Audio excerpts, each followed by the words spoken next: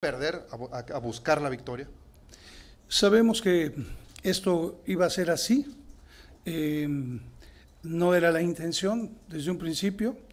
eh, buscamos a lo mejor y nos faltó ese atrevimiento, pero eh, sabíamos que era solo una oportunidad que pueda tener cualquiera de los dos equipos que podría lograrlo, digo.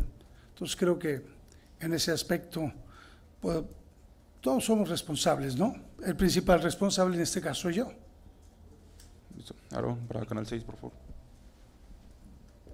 ¿Qué tal, profe? Aaron Hernández de Canal 6 Deportes. ¿Esta eliminación la calificaría como de las derrotas más dolorosas, tanto a nivel del club como también a nivel profesional, es decir, en su carrera como técnico? Sí, para mí es muy dolorosa y me, me sumo lo que es al, al momento que, que tiene la afición. O sea, creo que es algo que nos duele muchísimo y bueno, eh, creo que hay que seguir para adelante. Sabemos que nos cuesta mucho, pero esto es parte a lo mejor de, del juego. Diego Medina, tu DN, por favor.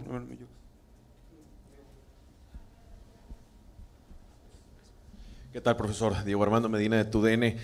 ¿Hay algo de lo que ya después del resultado, analizándolo, pensándolo rápido y tal vez en caliente por lo que acaba de pasar, hay algo de lo que se arrepienta de que hizo durante la serie, que siente usted que pudo haber hecho más, menos, algún movimiento, o dónde cree que realmente se gesta esta derrota?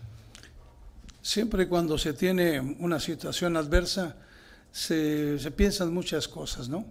Eh, lo concreto es que, que no tuvimos ese atrevimiento y que ellos a lo mejor aprovecharon esa situación.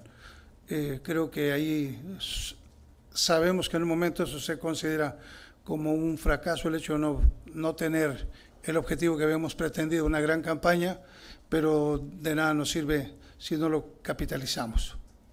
Última pregunta, Jaime Mar para Cancha, por favor.